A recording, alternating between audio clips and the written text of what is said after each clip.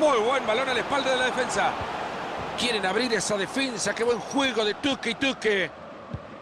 Balón interceptado. Ahí está y se adelantan. Hernández. Buena intervención, pero el peligro aún no pasa. ¡Gol!